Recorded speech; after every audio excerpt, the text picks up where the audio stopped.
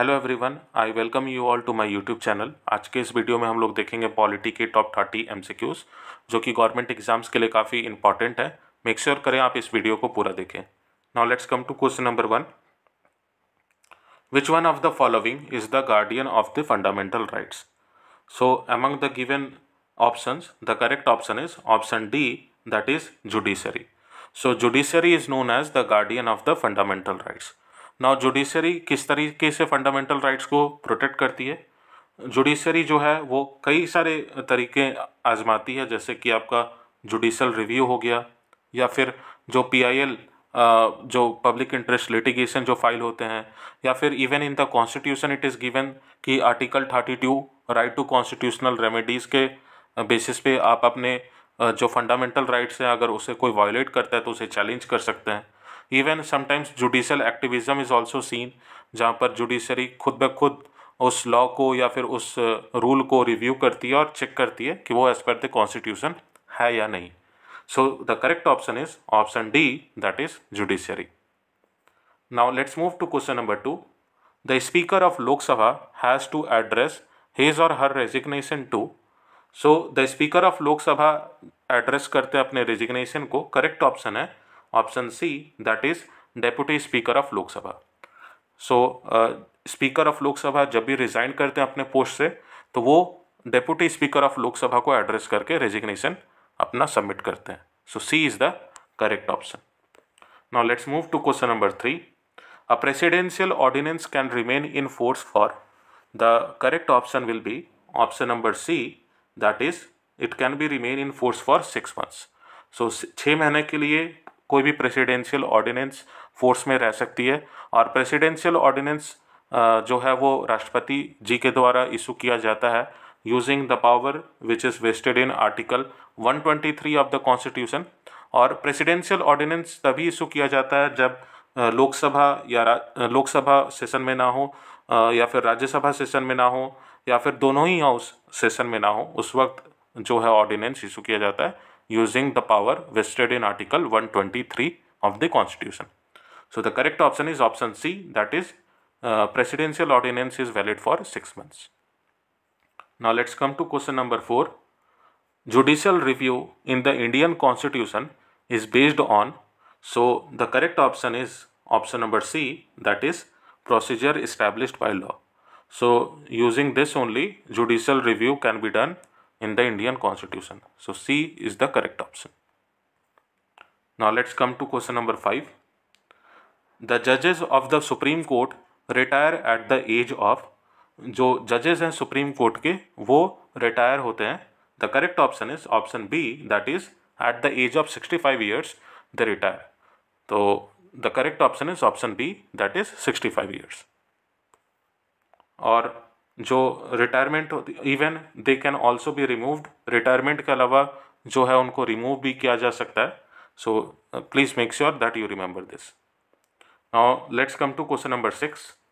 the prime minister of India is the so the correct option is among the following the prime minister of India is appointed so B is the correct option जो भारत के प्रधानमंत्री होते हैं उनको appoint किया जाता है ना कि इलेक्ट किया जाता है ना ही उन्हें सेलेक्ट किया जाता है ना ही उन्हें नॉमिनेट किया जाता है और जो अपॉइंट होते हैं भारत के प्रधानमंत्री वो राष्ट्रपति जी के द्वारा अपॉइंट किए जाते हैं so you can check its mention here in the constitution also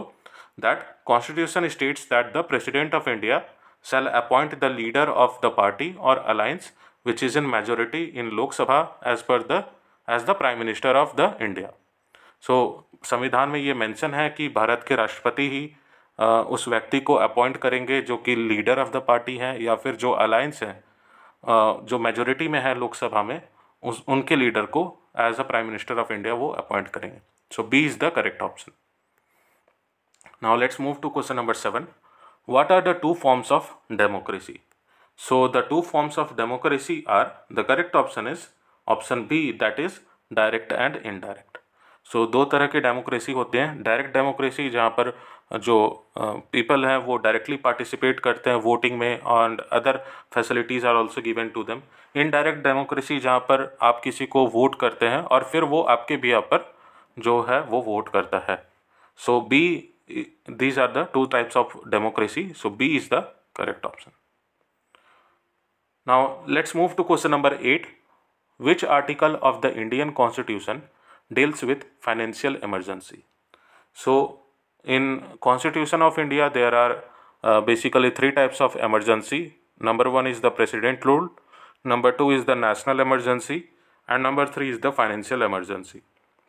so under article 360 of the constitution financial emergency can be proclaimed by the president of india so a इस क्वेश्चन का सही answer है that is article 360 so article 360 का इस्तेमाल करके भारत के जो है राष्ट्रपति वो फाइनेंशियल इमरजेंसी को प्रोक्लेम कर सकते हैं so A is the correct option now let's move to question number nine the term politics was first used by so the term politics was first use by correct option is option C that is Aristotle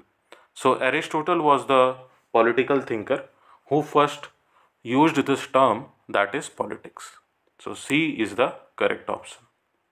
Now let's move to question number 10. Who addresses the joint session of the parliament?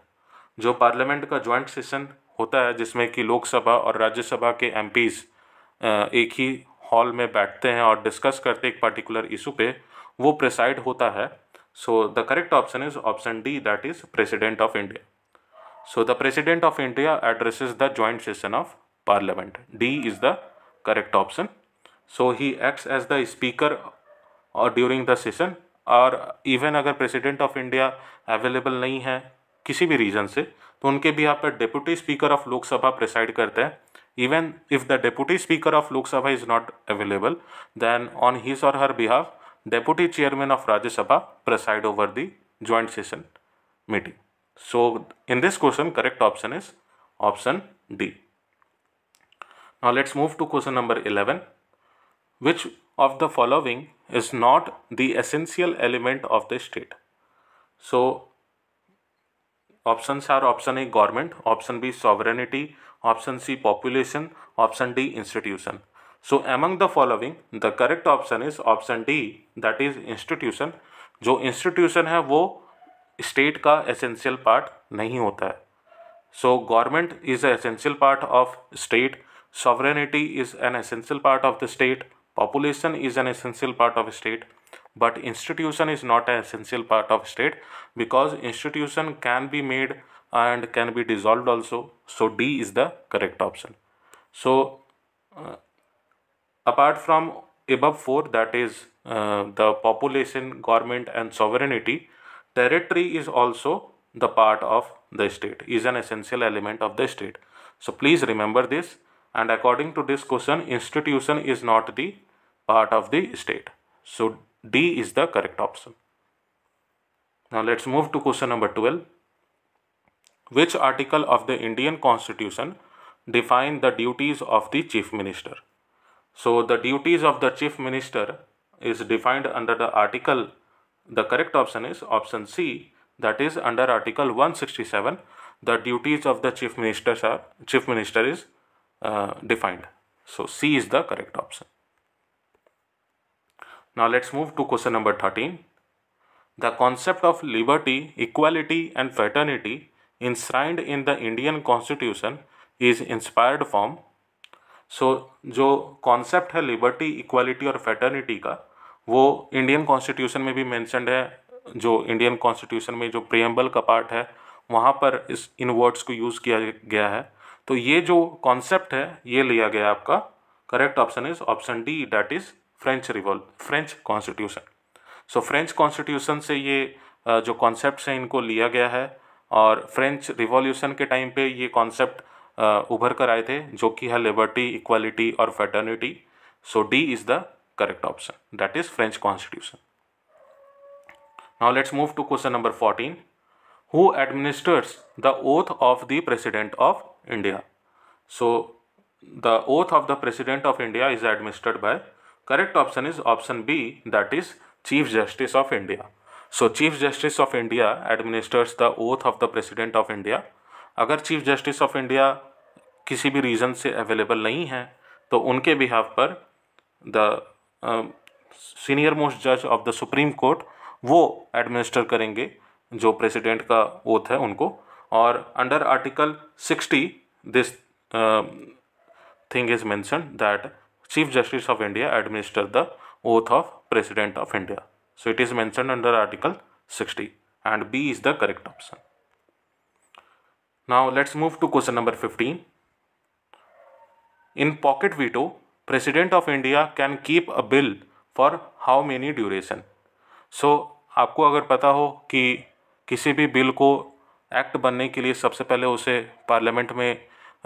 लाया जाता है फिर उस पर discussion होता है फिर वो लोकसभा से पास होता है फिर वो राज्यसभा से पास होता है और उसके बाद वो प्रेसिडेंट ऑफ इंडिया के पास वो बिल भेजा जाता है now president has to decide whether this bill should be made an act और नॉट अगर वो साइन कर देते हैं उस बिल पे तो अगर वो उनके कंसेंट उस बिल पे होती हैं तो वो उस एक्ट कहलाती हैं now president has certain veto powers उस बिल को वो रोक भी सकते हैं प्रेसिडेंट और pocket veto is one of the such powers और ये जो पावर है ये प्रेसिडेंट ऑफ इंडिया के पास रहती हैं और ये बिल को इनडेफिनेट पीरियड के लिए होल्ड करके रख रख सकते हैं president so D is the correct option so इस बिल को होल्ड करके रखा जा सकता है for indefinite period under pocket veto and if it is done then neither the bill is rectified nor it gets rejected or returned to the parliament. So correct option is option D that is indefinite period. Now let's move to question number 16. Member of Rajya Sabha are elected for how many years? Options are option A 2 years, option B 5 years, option C 3 years or option D 6 years. So the correct option will be option number D that is 6 years. So members of Rajya Sabha are elected for 6 years. So D is the correct option. And Rajya Sabha is that part of the house which never gets dissolved. Lok Sabha gets dissolved after every 5 years or after every 5 years or if there is no majority at all. But Rajya Sabha cannot be dissolved. So D is the correct option. Now let's move to question number 17. Question number 17. which Constitutional Amendment Act of India reduced voting age from 21 years to 18 years? Options are option A 42nd Amendment Act, option B 61st Amendment Act, option C 74th Amendment Act और option D 83rd Amendment Act. तो जो constitutional amendment act है जिसके through voting age 21 से 18 years कर दी गई थी वो the that constitutional amendment act is Correct option is option B that is 61st Amendment Act.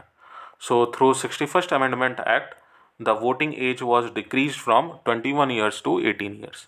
And this act was introduced uh, during the former Prime Minister Rajiv Gandhiji's era uh, during the year 1989. So 61st Amendment Act is the correct option. B is the correct option. Now let's move to question number 18. Which of the following is an example of direct democracy option sir option A village panchayat option B Gram Sabha option C district panchayat और option D नगर पंचायत तो example of direct democracy is the correct option is option A जो कि है village panchayat village panchayat जो form होती है वो direct elected members होते हैं जो कि ग्राम सभा के मेंबर्स को एलेक्ट करके बनाया जाता है the people of the village only they elect the members of village panchayat so A is the correct option that is it is an example of direct democracy now let's move to question number nineteen who among the following elects the vice president of India जो vice president हैं उनको कौन elect करता है members of parliament option A Option B, members of Rajya Sabha. Option C, elected MPs of Lok Sabha. Or option D, members of Parliament and state legislature. So as per the question, the correct option will be option number A, that is members of Parliament. So uh, the Vice President of India is elected by the elected members of Lok Sabha and Rajya Sabha.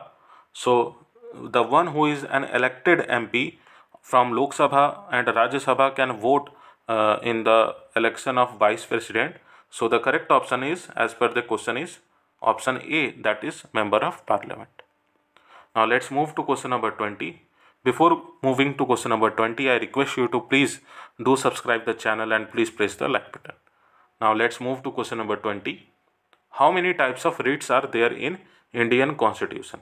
Option A 5, option B 4, option C 3 or option D 2. So uh, usually there are mainly there are 5 reads in the Indian constitution. So the correct option is option A that is 5.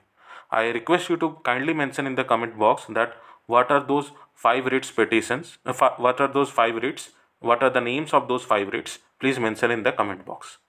A is the correct option. Now let's move to question number 21. The Panchayati Raj is based on which of the following principle option are option A centralisation of power option B unification of power option C decentralisation of power और option D bifurcation of law तो जो पंचायती राज है वो depend uh, करता है the correct option is option C that is decentralisation of power पे so the main um the main motto of panchayat introducing Panchayati Raj was Uh, to decentralize the power. So the correct option is option C that is decentralization of power. So C is the correct option. Now let's move to question number 22. The term politics was first used by correct option is option number C that is Aristotle. So Aristotle was the person who first used the term politics. Now let's move to question number 23. In India, the residuary powers are vested with options are option A union government, option B state government, option C both or option D local government. So usually there are three types of powers. Uh, number one is the um, this uh, uh, union uh, the power which is vested with the union government the power which is vested with the state government under the state list and the power which is there in the concurrent list now the residuary powers are vested with the correct option is option A that is union government. So A is the correct option. So under article 248 of the constitution this uh, power is given. So A is the correct option. So residuary powers are given to union government. Now let's come to question number 24. The vacancy of this office of the president must be filled within options are option A 3 months, option B 6 months, option C 12 months or option D no deadline as such. So if the president if the post of the president of India is vacant that post must be filled within correct option is option B that is 6 months. So uh, this is mentioned in the constitution that under article 62 if the president resigns impeached or uh, if there is a death of the president so the post becomes vacant and that post should be filled within the correct option is option b that is 6 months so b is the correct option for this question now let's move to question number 25 by which constitutional amendment act right to property ceased to remain a fundamental right options are option a 44th amendment act option b 42nd amendment act option C forty third amendment act और option D forty fifth amendment act so the correct option will be option number A that is forty fourth amendment act so forty fourth amendment act के according right to property जो है वो fundamental rights नहीं है so forty fourth amendment act जो है वो आपका 1978 में इंट्रोड्यूस किया गया था और इसे पार्लियामेंट के थ्रू इसे पास करके राइट टू प्रॉपर्टी को फंडामेंटल राइट से रिमूव किया गया था so forty fourth amendment act is the correct option now let's move to question number twenty six the most important feature of cabinet system of government is so option are option A individual responsibility option B responsibility to none option C collective responsibility और option D none of the above so the most important feature of cabinet system of government is So there is a collective responsibility. So the politicians, so the executives are responsible to the legislature and uh, indirectly to the people of the state. So C is the correct option. That is the cabinets in the cabinet system there is a collective responsibility. C is the correct option. Now let's move to question number 27. The directive principle of state policy has been adopted from which country so जो directive principle of state policy है वो adopt किया गया है the correct option will be option number D that is Irish constitution so this directive principle of state policy ये Irish constitution में available थी और वहाँ से इस कॉन्सेप्ट को इंडियन uh, कॉन्स्टिट्यूशन में अडॉप्ट किया गया so D is the correct option now let's move to question number twenty eight Who has the right to decide whether a bill is a money bill or not? Options are option A Speaker of Lok Sabha, option B Finance Minister, option C President, or option D Chairman of Rajya Sabha. So, the power to decide whether a bill is a money bill or not, it is decided by correct option is option A that is speaker of Lok Sabha so speaker of Lok Sabha decide करते हैं कि वो bill जो कि लोकसभा में introduce किया गया वो मनी बिल है या फिर नहीं so A is the correct option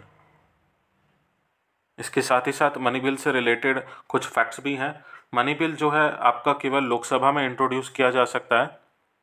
और once it is pass it directly goes to the president of India to become an act so A is the correct option that is speaker of Lok Sabha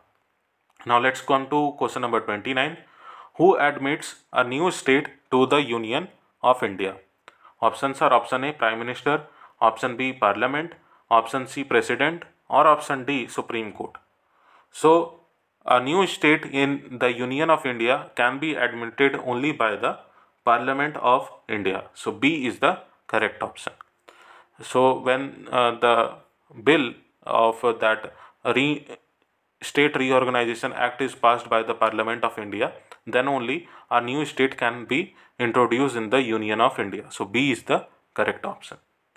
Now let's come to the last question of this video, question number 30. In the Constitution of India, budget is known as the correct option will be jo budget hai uh, as per the constitution of india uh, wo mention hai as a name of annual annual financial statement so d is the correct option so so, जहाँ पर constitution of India में annual financial statement mention है उसका मतलब ये हुआ कि वो बजट से रिलेटेड है so D is the correct option so the correct option is option D that is annual financial statement so I hope कि आपको ये वीडियो अच्छा लगा होगा please give your feedback in the comment section and please subscribe the channel thank you very much